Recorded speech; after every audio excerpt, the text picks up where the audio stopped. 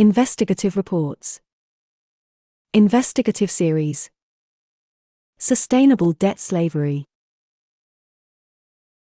In this first installment of a new series, Iain Davis and Whitney Webb explore how the UN's Sustainable Development Policies, the SDGs, do not promote sustainability as most conceive of it and instead utilize the same debt imperialism long used by the Anglo American Empire to entrap nations in a new, equally predatory system of global financial governance.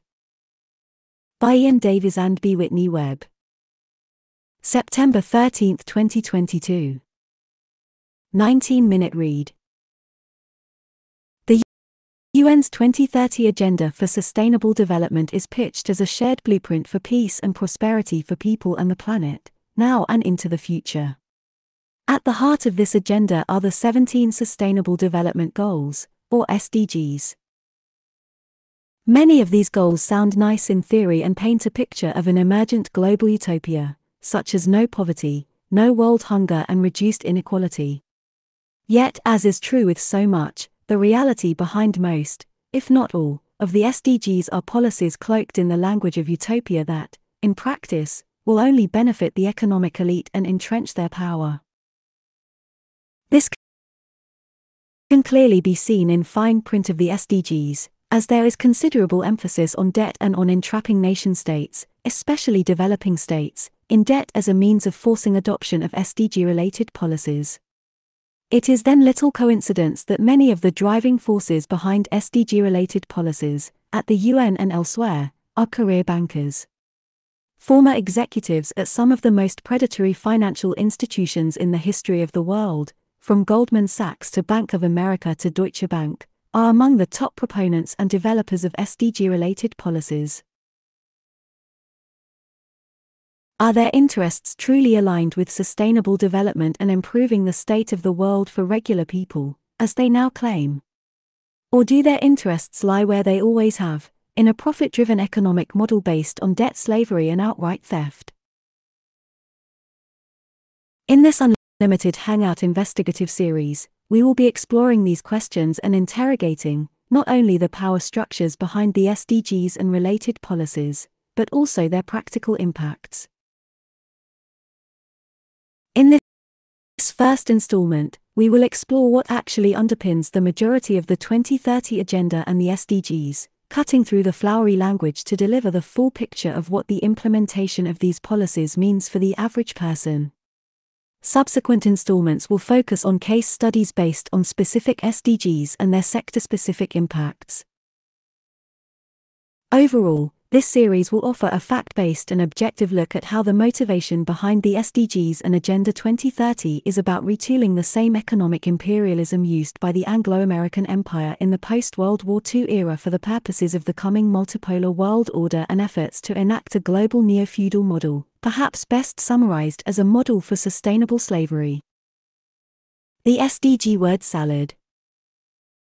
The UN educates young people in developing nations to welcome sustainable development without disclosing the impact it will have on their lives or their national economy. Source UNICEF.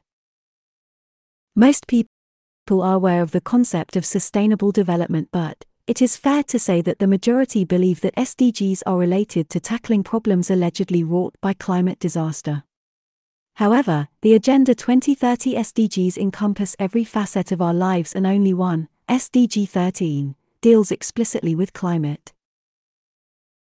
From economic and food security to education, employment, and all business activity, name any sphere of human activity, including the most personal, and there is an associated SDG designed to transform it.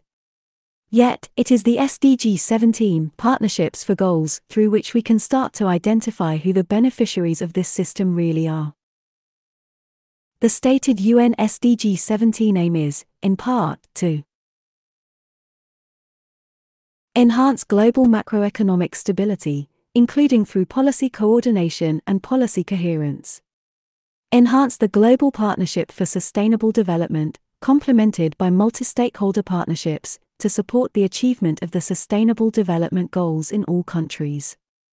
Encourage and promote effective public, public private, and civil society partnerships, building on the experience and resourcing strategies of partnerships. From this, we can deduce that multi stakeholder partnerships are supposed to work together to achieve macroeconomic stability in all countries. This will be accomplished by enforcing policy coordination and policy coherence constructed from the knowledge of public, public private, and civil society partnerships. These partnerships will deliver the SDGs. This word salad requires some untangling, because this is the framework that enables the implementation of every SDG in all countries. Before we do, it is worth noting that the UN often refers to itself and its decisions using grandiose language. Even the most trivial of deliberations are treated as historic or groundbreaking, etc. There is also a lot of fluff to wade through about transparency, accountability, sustainability, and so on. These are just words which require corresponding action in order to have contextual meaning. Transparency doesn't mean much if crucial information is buried in endless reams of impenetrable bureaucratic waffle that isn't reported to the public by anyone. Accountability is an anathema if even national governments lack the authority to exercise oversight over the UN, and when sustainable is used to mean transformative, it becomes an oxymoron. Untangling the UNG3P SDG word salad. The UN Economic and Social Council, ECOSOC, commissioned a paper which defines multi-stakeholder partnerships as P. Partnerships between business, NGOs, governments, the United Nations and other actors. These multi-stakeholder partnerships are supposedly working to create global macroeconomic stability as a prerequisite for the implementation of the SDGs. But, just like the term intergovernmental organization, the meaning of macroeconomic stability has also been transformed by the UN and its specialized agencies. While macroeconomic stability used to mean full employment and stable economic growth, accompanied by low inflation, the UN have announced that isn't what it means today. Economic growth now has to be smart in order to meet SDG requirements. Crucially, Fiscal balance, the difference between a government's revenue and expenditure, must accommodate sustainable development by creating fiscal space. This effectively disassociates the term macroeconomic stability from real economic activity. The transformative SDGs, source, UN. Climate change is seen, not just as an environmental problem, but as a serious financial, economic, and social problem. Therefore, fiscal space must be engineered to finance the policy coordination and policy coherence needed to avert the prophesied disaster. The UN Department for Economic and Social Affairs, UNDESA, notes that fiscal space lacks a precise definition. While some economists define it simply as the availability of budgetary room that allows a government to provide resources for a desired purpose, others express budgetary room as a calculation based upon a country's debt to GDP ratio and projected growth. UNDESA suggests that fiscal space boils down to the estimated or projected debt sustainability gap. This is defined as the difference between a country's current debt level and its estimated sustainable debt level. No one knows what events may impact future economic growth. A pandemic or another war in Europe could severely restrict it, or cause a recession. The debt sustainability gap is a theoretical concept based upon little more than wishful thinking.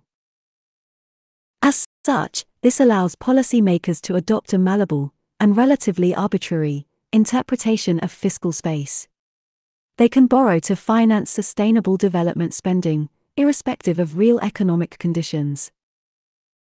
The primary objective of fiscal policy used to be to maintain employment and price stability and encourage economic growth through the equitable distribution of wealth and resources.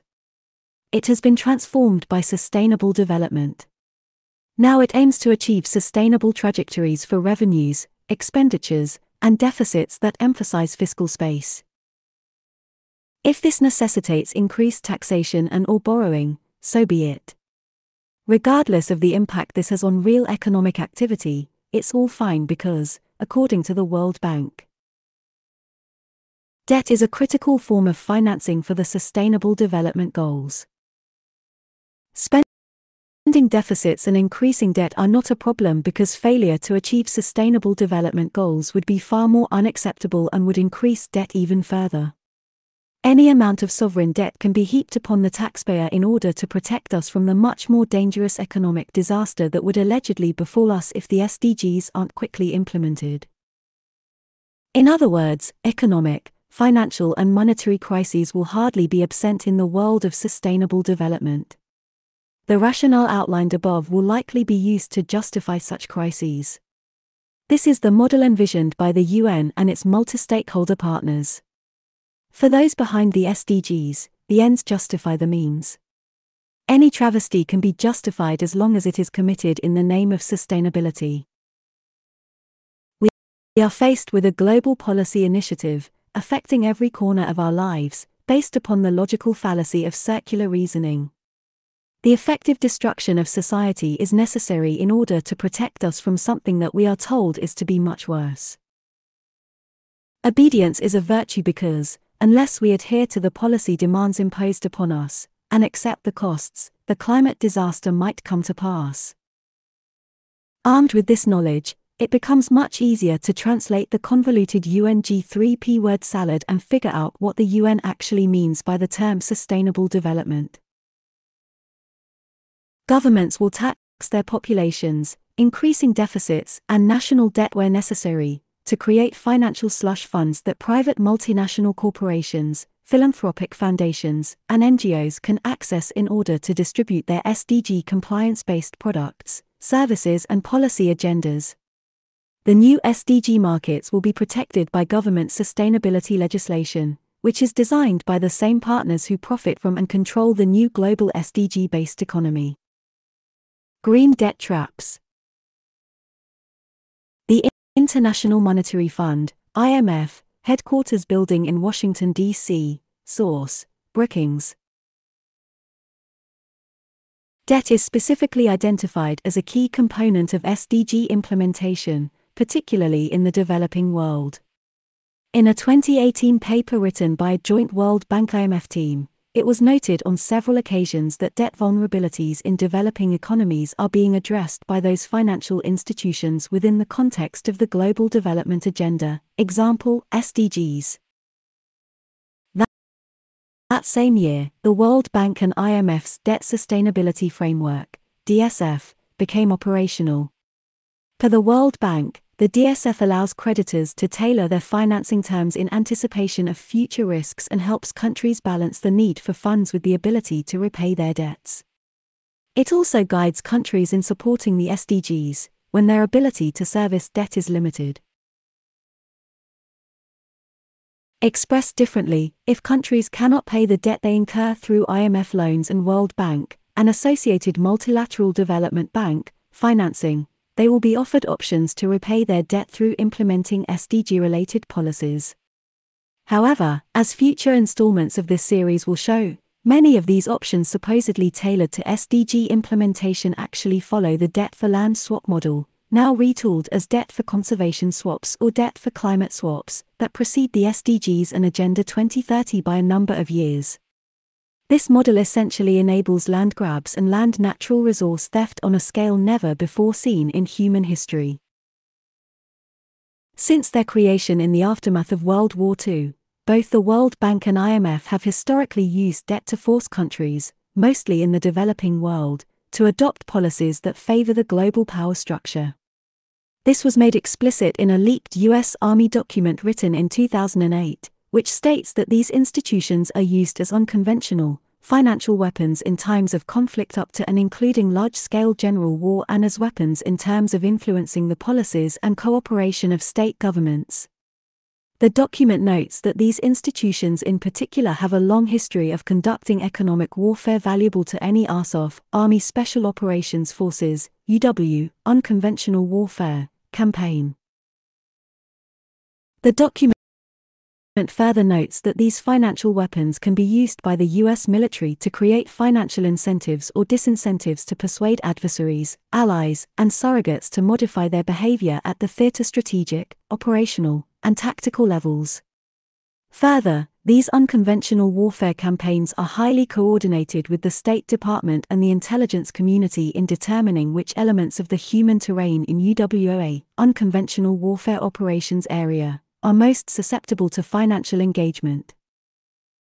Notably, the World Bank and the IMF are listed as both financial instruments and diplomatic instruments of U.S. national power as well as integral parts of what the manual calls the current global governance system.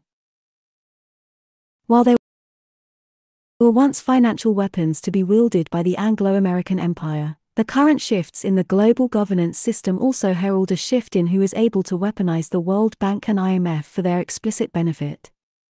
As the sun sets on the imperial, unipolar model and the dawn of a multipolar world order is upon us the World Bank and IMF have already been brought under the control of a new international power structure following the creation of the UN backed Glasgow Financial Alliance for Net Zero, GFANZ, in 2021.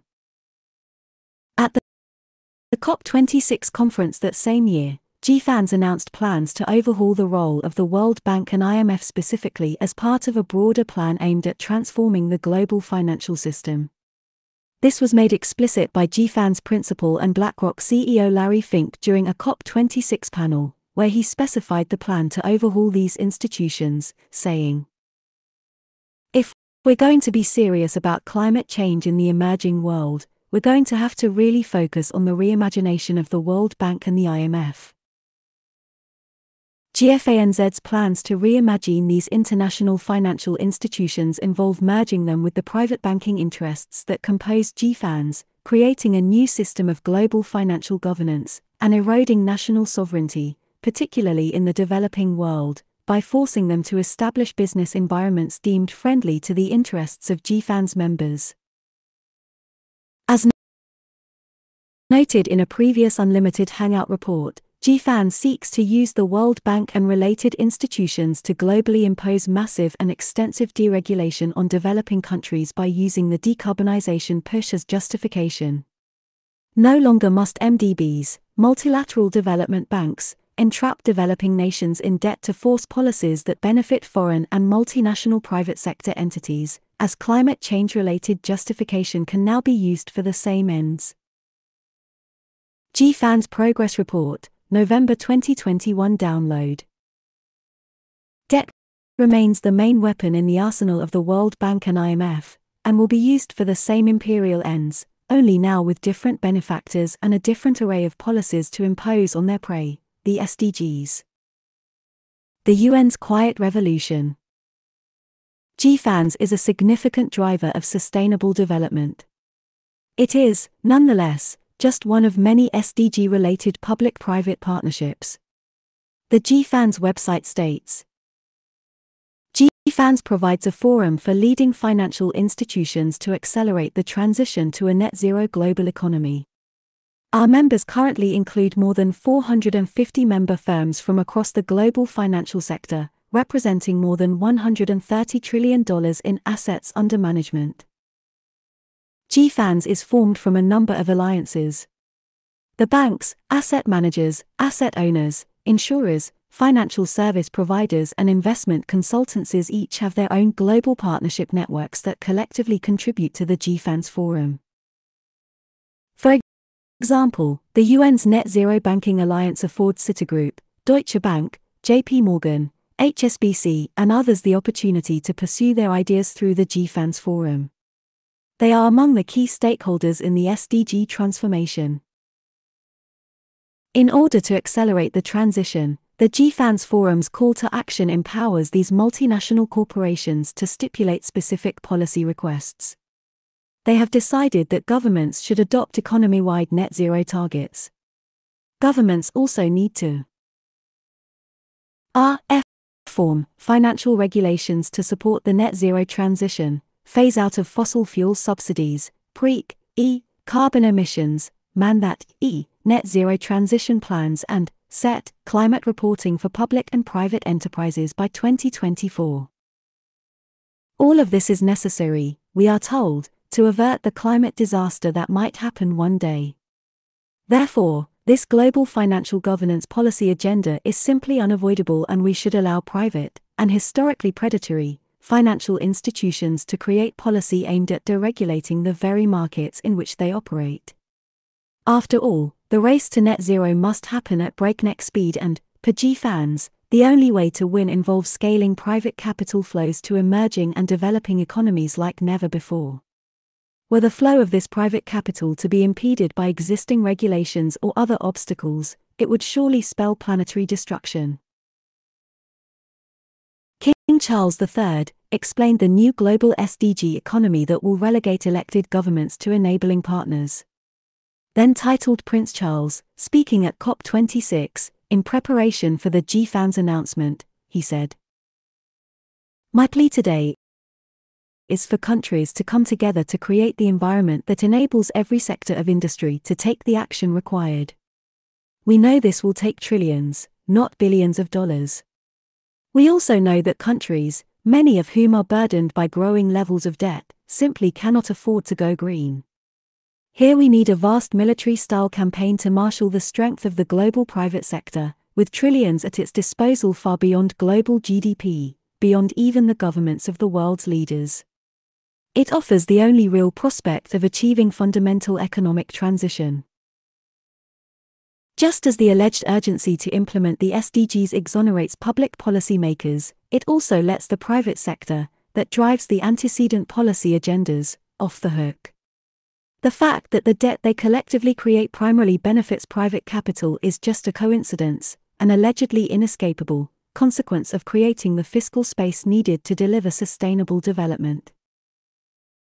The UN's increasing reliance upon these multi stakeholder partnerships is the result of the quiet revolution that occurred in the UN during the 1990s.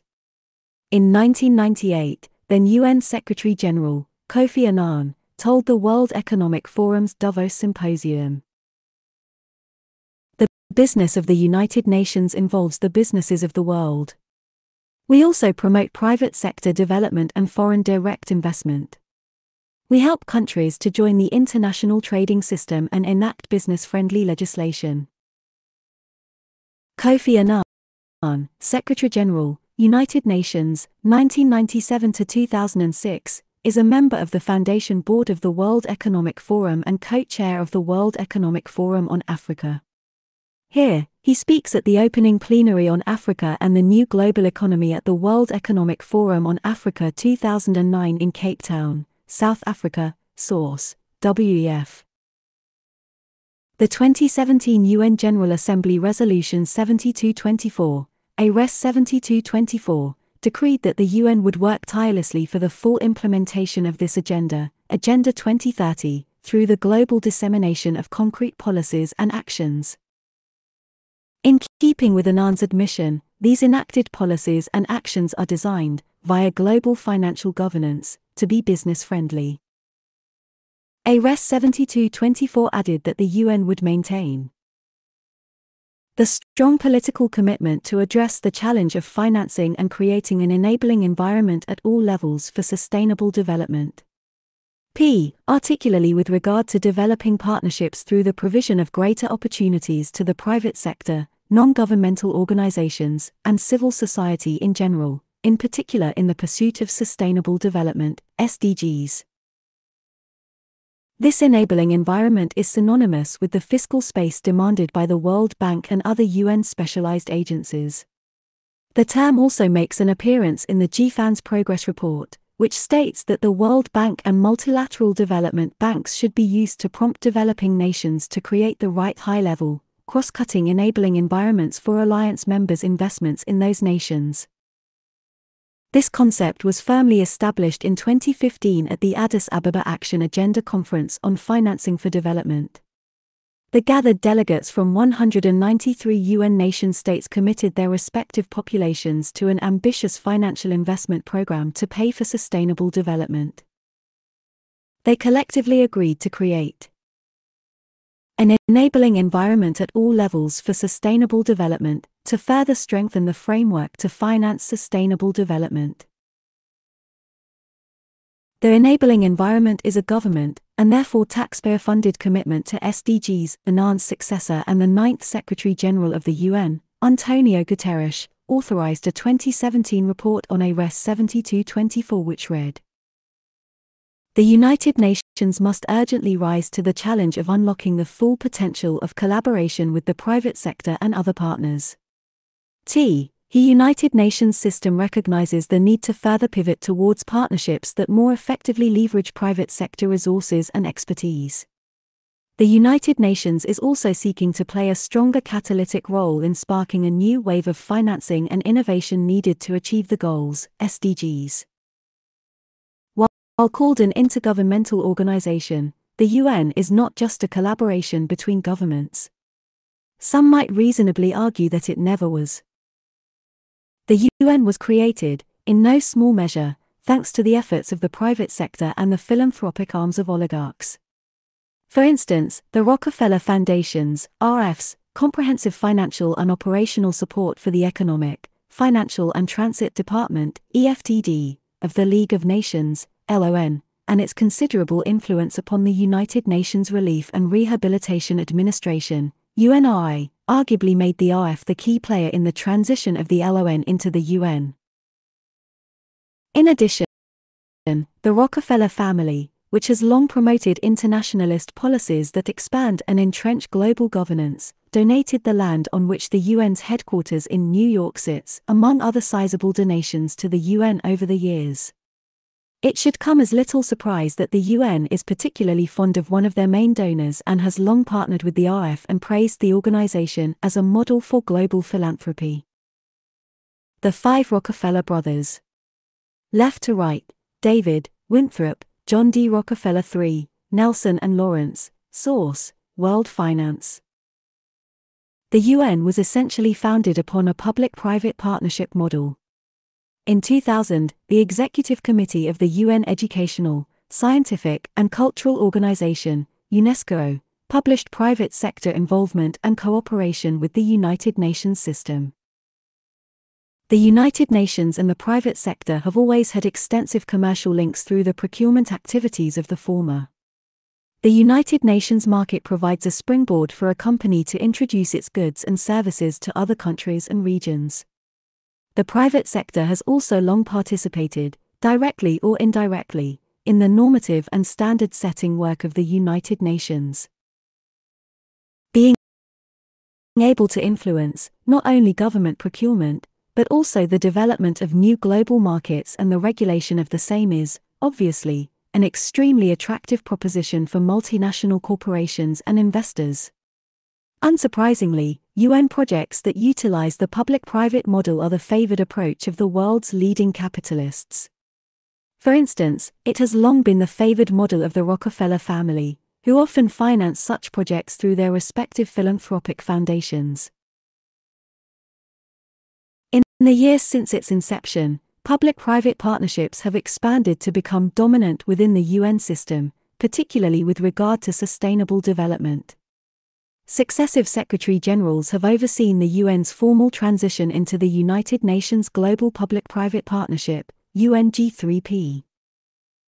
As a result of this transformation, the role of nation state governments at the UN has also changed dramatically.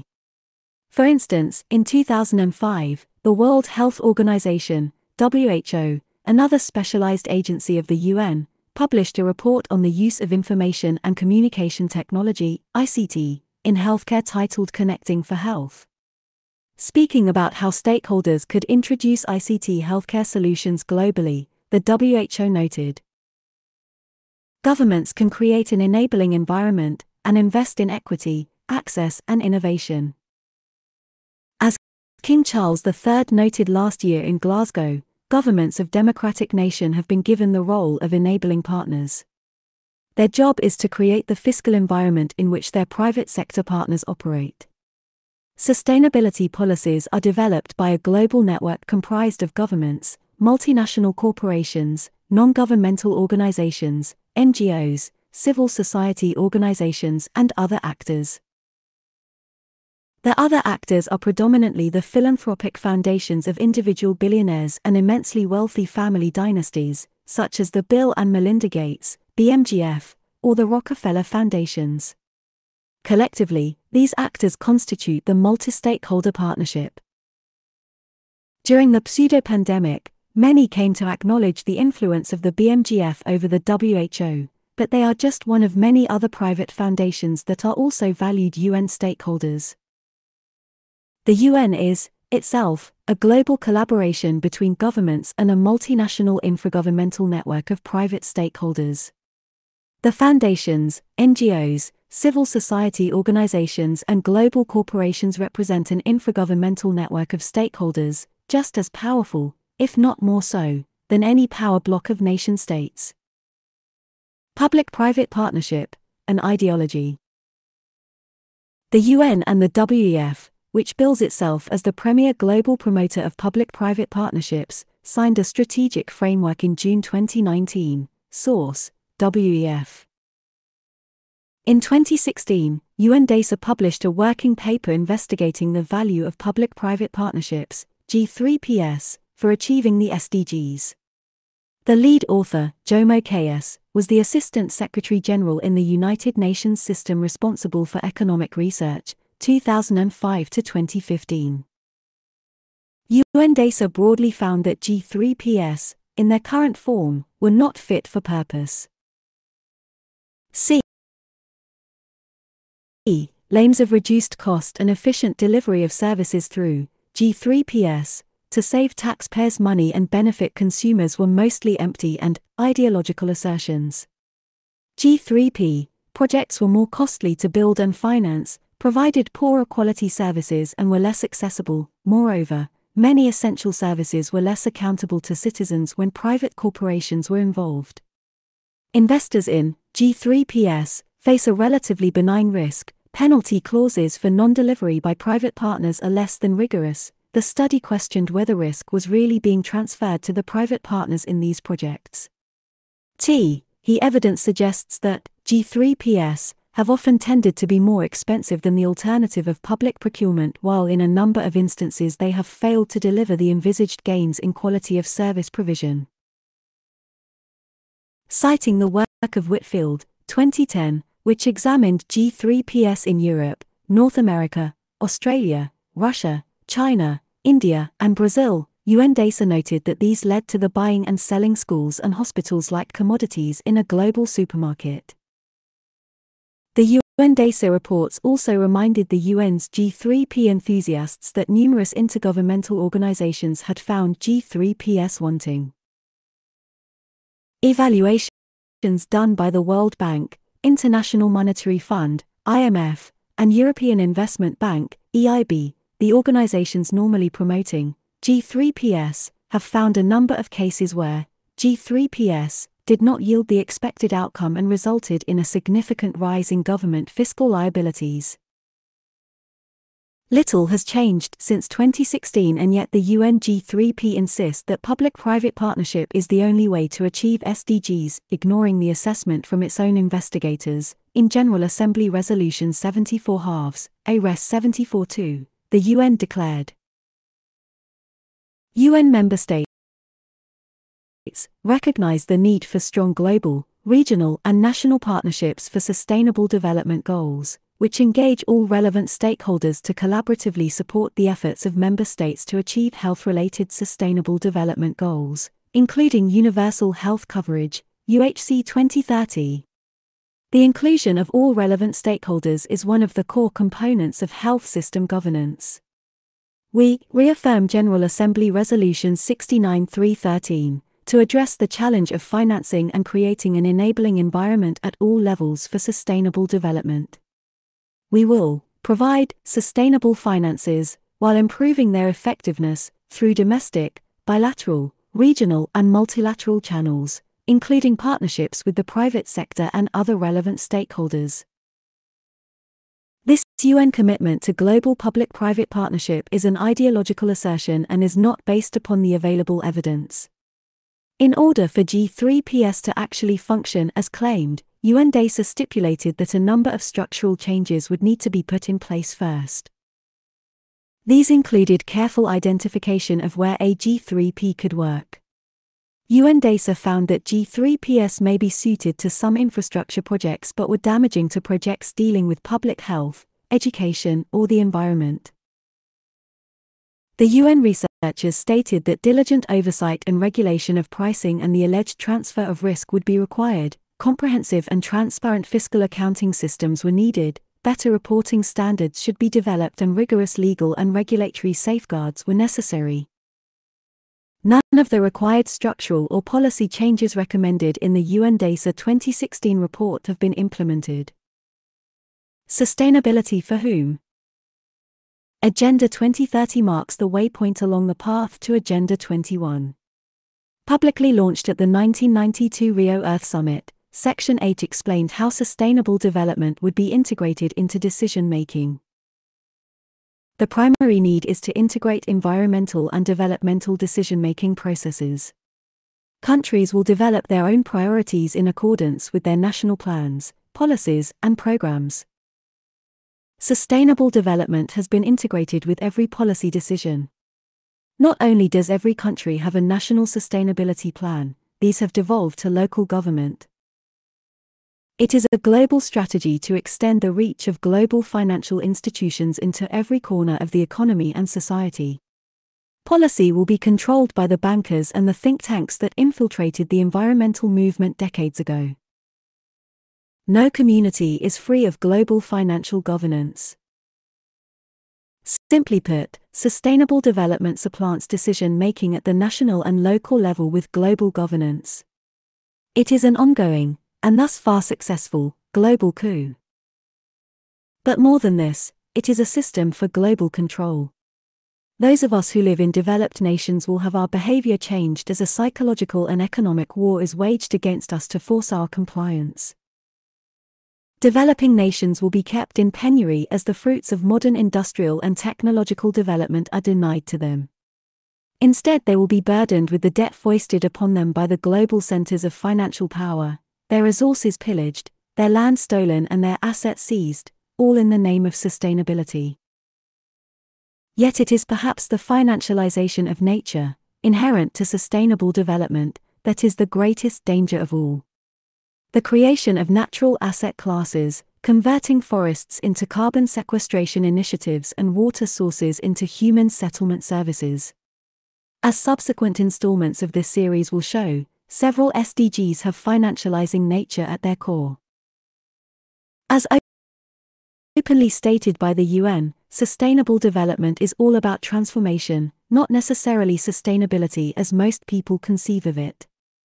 It aims to transform the earth and everything on it, including us, into commodities, the trading of which will form the basis of a new global economy. Though it is being sold to us as sustainable, the only thing this new global financial system will sustain is the power of a predatory financial elite. Central Central Banks. IMF SDG SDG Series. Sustainable Development. WEF World Bank. Author. Iain Davis Iain Davis is an independent investigative journalist, author, and blogger from the UK. His focus is upon widening readers' awareness of evidence that the so called mainstream media won't report. A frequent contributor to UK column, Iain's work has been featured by The Off Guardian, The Corbett Report, Technocracy News, Lew Rockwell, and other independent news outlets. You can read more of his work on his blog, https colon double forward slash iaindavis.com. Author Whitney Webb Whitney Webb has been a professional writer, researcher, and journalist since 2016. She has written for several websites and, from 2017 to 2020, was a staff writer and senior investigative reporter for Mint Press News. She currently writes for The Last American Vagabond and Unlimited Hangout.